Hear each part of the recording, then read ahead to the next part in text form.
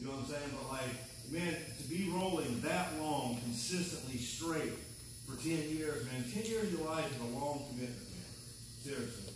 So today, we'll go ahead and get better at Black Belt. Yeah!